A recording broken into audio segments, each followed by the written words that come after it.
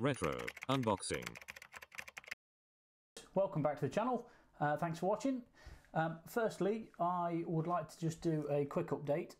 Uh, I've been having a bit of a play with this and I can happily confirm, although I will do a separate video very shortly, but it, it, it works perfectly.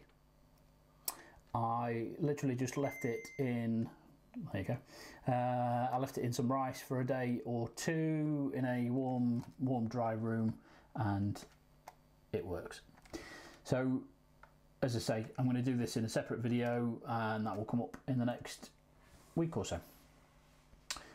What this video is about is another Nintendo product, and it probably came up on one of my searches because it uh, I'd, I'd been I'd been looking at Nintendo Game Boys, etc., etc. So Amazon were kind enough to say, "Hello, Jonathan.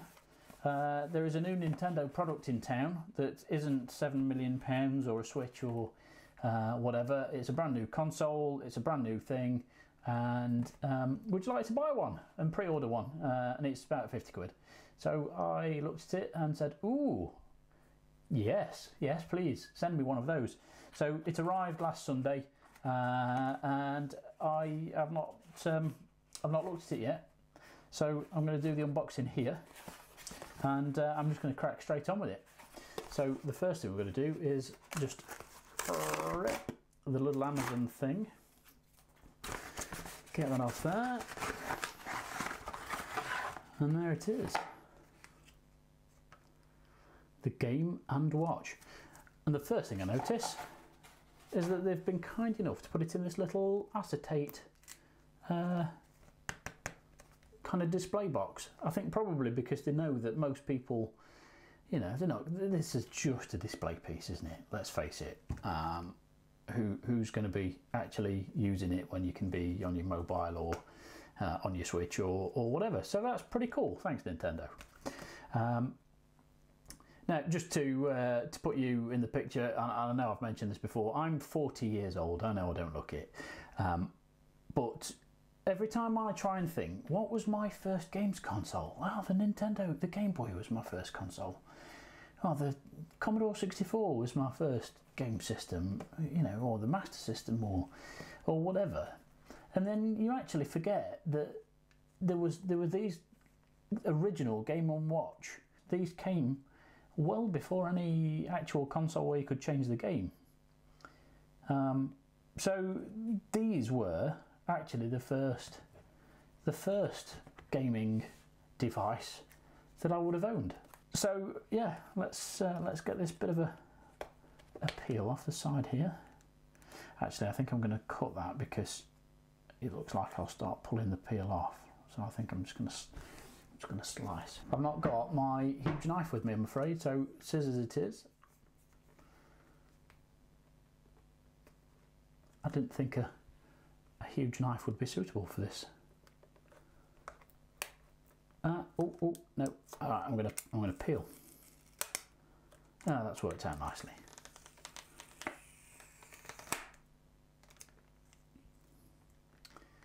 I'll just stick that onto the back of there.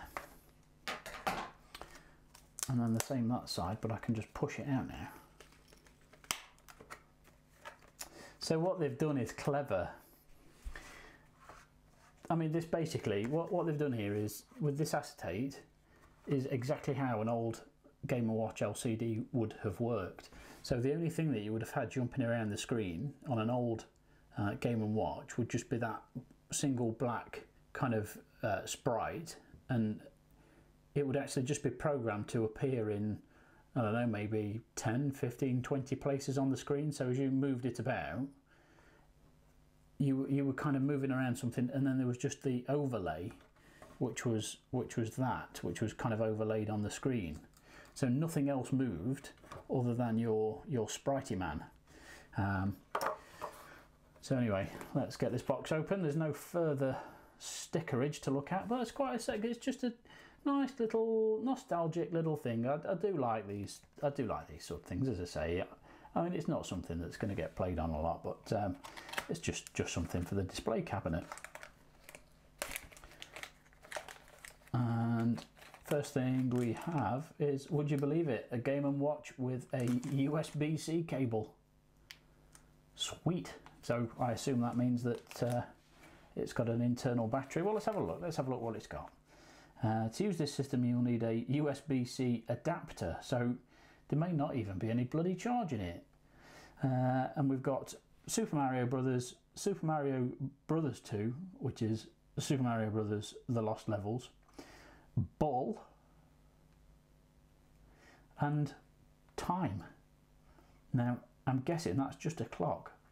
I have seen uh, a couple of people on eBay selling 3D printed kind of docks for this little thing. So I wonder if some people are probably using it as a um, as a bedside clock. Clock. I said clock. I know we've already had ball, but I definitely said clock. Uh, I mean, how big a set of instructions do you need for something like this? Uh, anyway, so uh, plug it in to charge it. Job's good. Press A, press B, press up and down and left and right. Happy days. And here we go.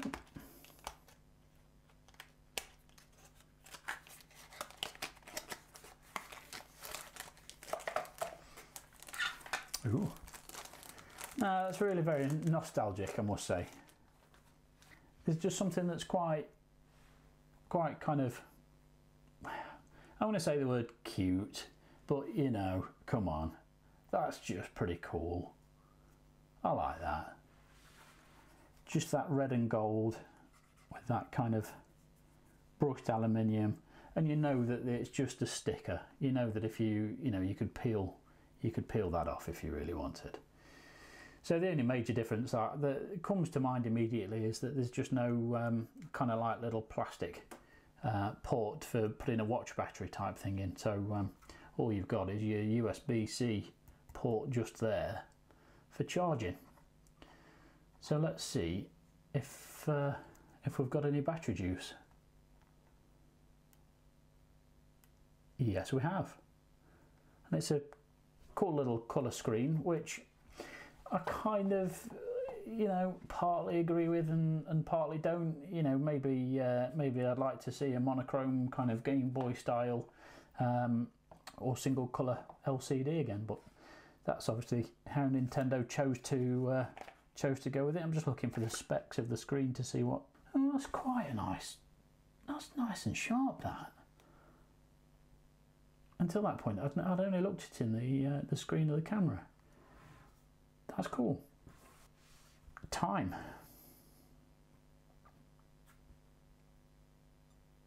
Oh, it's not 12 o'clock. It's...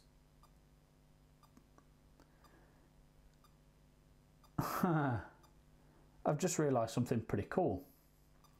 So I'm recording this on my iPhone, the um, the top down view is being recorded on my iPhone and I've just realised that I can see what I'm doing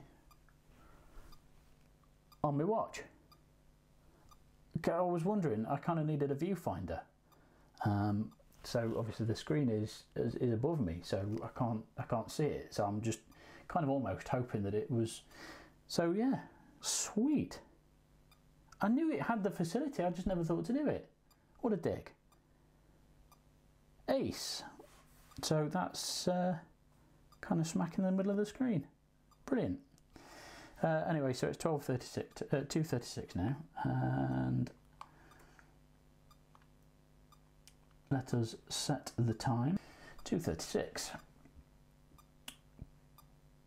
Game. Super Mario Brothers.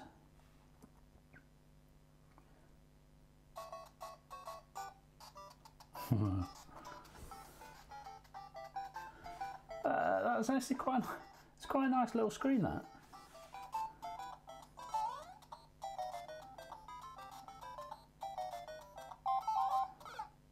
Well, shit. I died at the first toadstool. Alright, let's have a look at Mario Brothers 2. I seem to remember this game being a little bit easier than Mario Brothers, the original. Oh shit.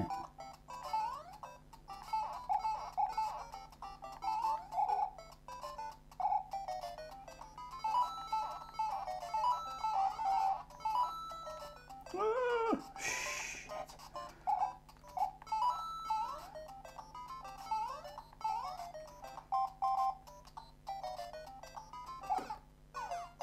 It's not easier. I thought it was easier. It isn't. Right, let's have a look at ball. Game A or game B? Let's go game A. Uh, oh my word. This is like a juggling simulator. Ball is a juggling simulator.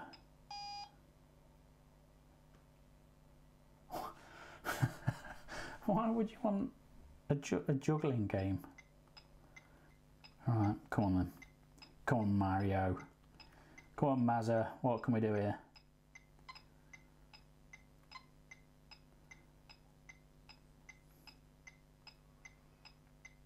Oh, oh, oh, I see. It's quite devious.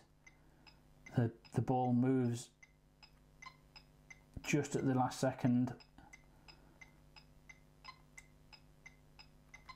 Oh, yeah. 31. Smashing it. Smashing it. What's game B? Game B is even harder because you've got three balls. You've got three balls to contend with, people. And I, I mean, I contended for about a second. Let's try game B again, three balls. This is complicated, Mario.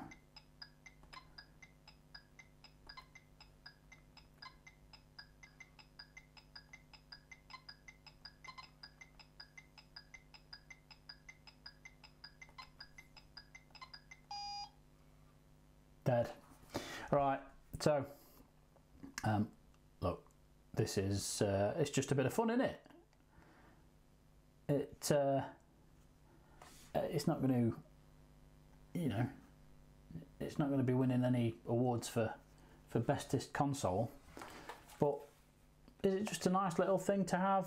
I mean, in fairness, you know, fifty quid off of off of the internet. It's just a nice little thing to have on your shelf. Uh, I paid far more for this, uh, in fairness, but you can pick up you can pick up a, a, Game Boy or a Game Boy Advance. In fact, why didn't I get my Game Boy Advance out? I'll get my Game Boy Advance. No, no, no, screw it. Um, I'm I'm hoping that because it's got that little USB-C port there, that the gaming community are going to get hold of it, or maybe even Nintendo themselves, and release more games um, NES games, whatever, because it's it's a nice little thing to hold in your hand. It's the screen. The screen's really lovely. The the screen is excellent. Um, would I recommend it to anybody that wants uh, the you know the latest and greatest um, games console? You know, no, uh, absolutely not.